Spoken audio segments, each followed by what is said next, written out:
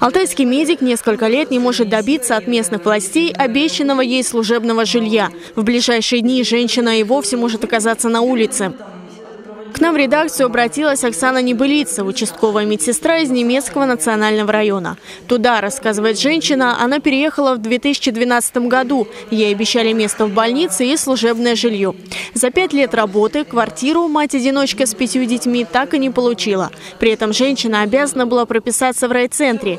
Здесь, признается Оксана, оформить удалось только фиктивную регистрацию, которую недавно обнаружила миграционная служба. На женщину едва не завели уголовное дело.